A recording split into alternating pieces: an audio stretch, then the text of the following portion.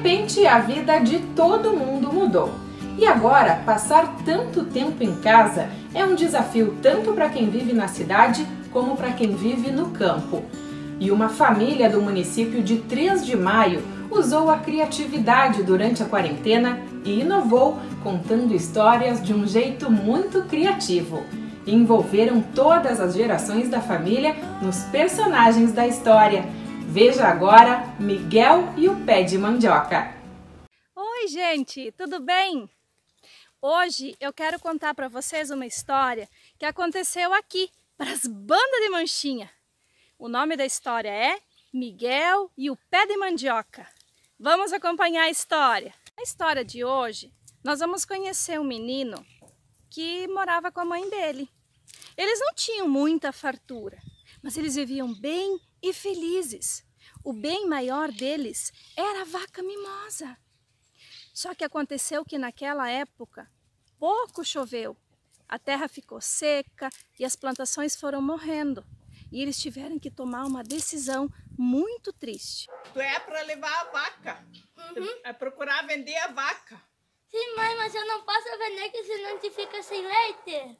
Mas não adianta, ela não vai ter leite, porque nós não temos mais pasto, é muito seco. Tá, ah, daí a vaca não tem mais pasto, temos que vender ela para comprar comida para nós. Uhum. Comprar feijão, arroz, tá? Tu leva tá e vende a vaca. Sim. Taca. Vai. Vamos. Vai. Vamos lá, você vai nos dar muita riqueza, amiga. O Miguel, esse menino da história, ele saiu para vender a vaca dele. E no caminho ele encontrou um senhor com quem ele conseguiu fazer um negócio. Negociou a vaca dele em troca de pés de mandioca mágica. Vamos lá. Onde é que vai com essa vaca? Eu tô vendendo ela. Vendendo ela? Não. Mas eu ia, ia, comprar essa vaca, mas eu não tenho dinheiro. Eu, mas eu, eu, vamos trocar, eu te dou essa mandioca por ela. Sim. Tu, essa aqui é uma mandioca mágica. Uhum. Tu planta ela e tu vai ver a magia que essa mandioca faz. Uhum. Obrigada. Tá? Então tu leva a mandioca e eu fico com a vaca.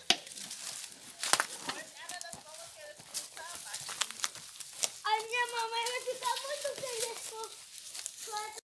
E veja só, o Miguel, ele aceitou, achando que havia feito um grande negócio em trocar a vaca por aquelas ramas de mandioca. Mamãe, cheguei, cheguei! Já conseguiu vender a vaca? Sim. Como? Mas por que que tu trouxe essa mandioca junto? É que eu encontrei um senhor lá muito bom, daí ele me vendeu essas mandioca por troca da vaca. Não Tu deu a vaca em troca de um pé de mandioca, filho? Sim.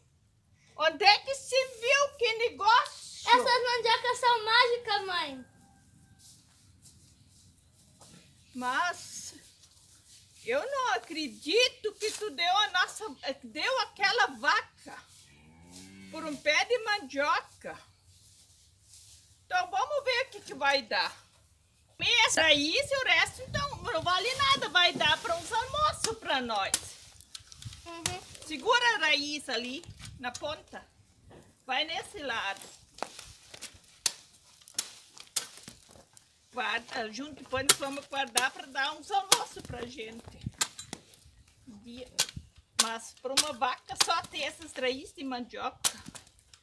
Tu fez um mau negócio, mas a vaca igual não tinha pasto tu quer plantar, então vamos cortar os pedaços para tu plantar. Uhum. Só pode plantar.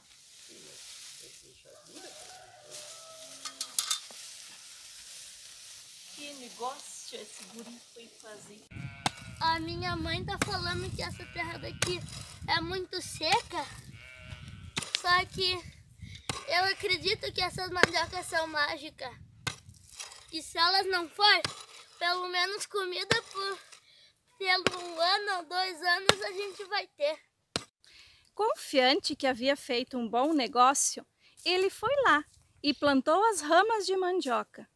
O que eles não esperavam era que realmente se tratavam de ramas de mandioca mágica. E como num passe de mágica, de um dia para o outro, a plantação do Miguel estava linda, enorme, com uma produção que encantava os olhos deles. Mãe, mãe, mãe, vem, vem ver as mandiocas que eu plantei, vem ver, vem ver, olha ali. Meu, como cresceu rápido essa mandioca. Que bonito. Uhum. Era mágica mesmo. É mesmo, eu não acreditei. Como cresceu rápido. É. Ah. Olha só que raiz bonita. Olha só. Agora nós podemos até vender mandioca. Sim, mãe. Pra comprar as outras coisas que a gente precisa. Eu sabia que aquele lá era um bom senhor. Mas assim, Meu filho, agora eh, deu tanta mandioca, nós podemos vender e comprar uma vaca de volta, uma outra vaca para nós ter leite. sim. Que bom! Realmente, a plantação rendeu muito. Eles colheram muitos pés de mandioca. Eles comeram, venderam e conseguiram dinheiro para comprar outras comidas. Também separaram uma parte do dinheiro para reaver, para comprar de volta a vaca mimosa. E assim Miguel foi, procurou aquele senhor e comprou de volta a vaca que eles tanto gostavam. Filho, agora nós já temos bastante dinheiro. Olha aqui de vender as mandioca. Sim. Agora tu podia, como tu sempre quer tanto que ter leite para tomar e tu gosta de leite, daí tu vai lá e compra, tenta comprar a vaca de volta. Agora nós temos pasto também para dar, ela pode comer a mandioca também. Daí tu compra a vaca de volta, dá pro, Uhum. tá? Senhor, senhor, eu vou que que comprar foi? minha vaca de volta. Por quê? Porque nós estamos precisando eu conseguir o dinheiro para poder. Como é que tu conseguiu esse dinheiro? Sabe as mandiocas que você me deu?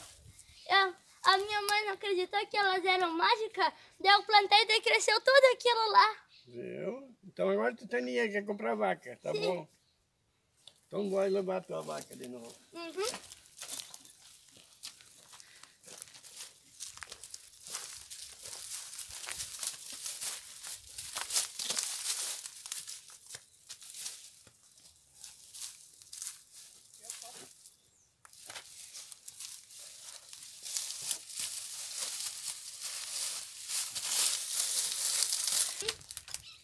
Oi, mimosa!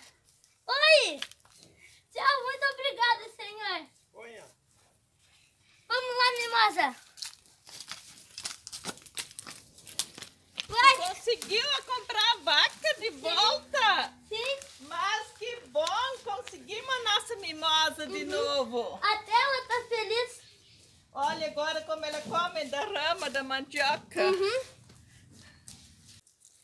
E aqui estou eu, na plantação de mandiocas, contando a história Miguel e o pé de mandioca. Esta foi mais uma história que aconteceu aqui, para as bandas de Manchinha. Um beijo, curtam a história, até a próxima!